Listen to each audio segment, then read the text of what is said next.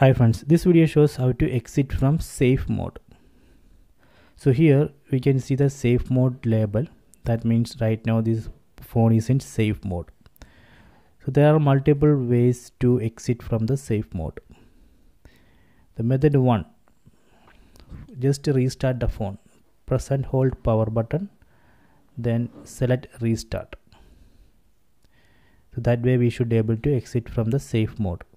Method 2 select settings open settings app then select apps and notifications then select see all apps. From this list we need to uninstall all third-party apps uninstall all third-party apps for example facebook. Uninstall it. Uninstall all unwanted and third-party apps then restart the phone. So that way we should be able to exit from the safe mode.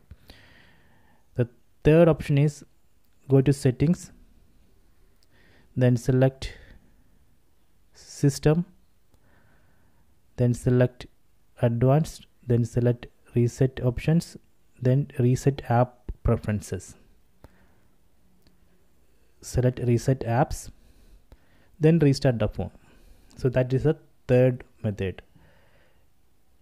Fourth and last method is reset hard reset or delete all data or factory reset. This is the fourth method. Select it then erase all data. It will it will erase all data.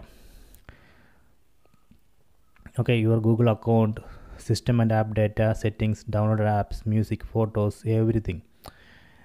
So that way that that is a fourth and last option which you should try.